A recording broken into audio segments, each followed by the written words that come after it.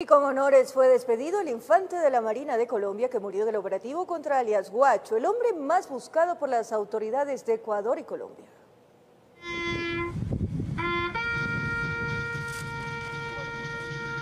De esta manera se despidió a Luis Alfredo Oquendo, infante de Marina, miembro de la Armada Nacional de Colombia, quien murió en el cruce de balas durante el operativo que hirió a Walter Patricio Ariza Lavernaza, alias Guacho, líder del Frente Oliver Sinisterra.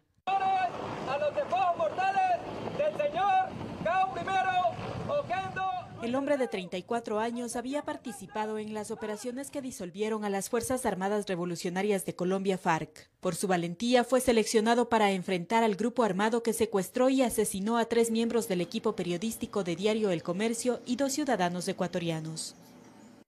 Luis Alfredo Oquendo ha sido considerado por algunas autoridades como el héroe de la patria. Aunque los militares perdieron a uno de sus hombres, la persecución a Huacho continúa. Se estima que 3.000 militares de Ecuador y Colombia intensifican sus esfuerzos en la frontera para acercar a los disidentes que se dedican al tráfico de drogas. Con la realización de Valeria Navarro, informó Sara Naranjo.